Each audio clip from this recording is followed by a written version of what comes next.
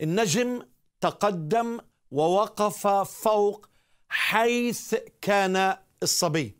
فرحوا مكتوب فرحا عظيما جدا لأنه مسافة طويلة وعناء السفر.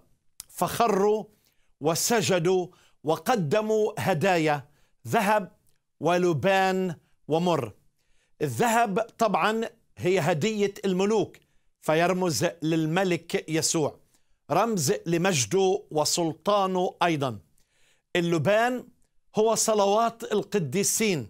بيتكلم عن كماله الانساني بيتكلم عن البخور. وعادة البخور تقدم للإله فهو الله الذي ظهر في الجسد. فهذا البخور كان يقدم للرب يسوع المسيح. والمر أحبائي هو الحنوط. اللي بتتكلم عن كفن المسيح وهذا هو جوهر العبادة. فالعبادة سجدوا للمسيح الملك بكل الوظائف كملك وكاهن ونبي وأيضا يعني كإنسان كامل وكديان أحبائي. كل هذه المواصفات اجتمعت من خلال هدايا المجوس. وبعد ما سجدوا للطفل للملك يسوع. أوحي إليهم كمان بحلم.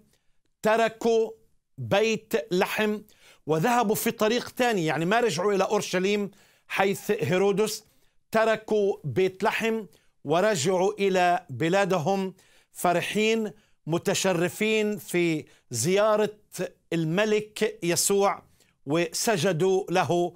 وهذا أكيد أثر على حياتهم وكان له تأثير كبير. على بقية عمرهم.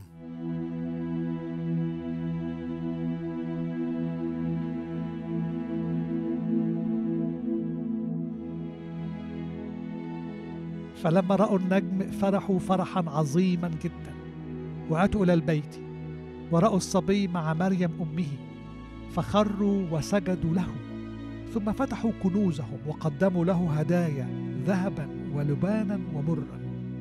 ثم إذ أوحي لهم في حلم ألا يرجعوا إلى هيرودس انصرفوا في طريق أخرى إلى قورتهم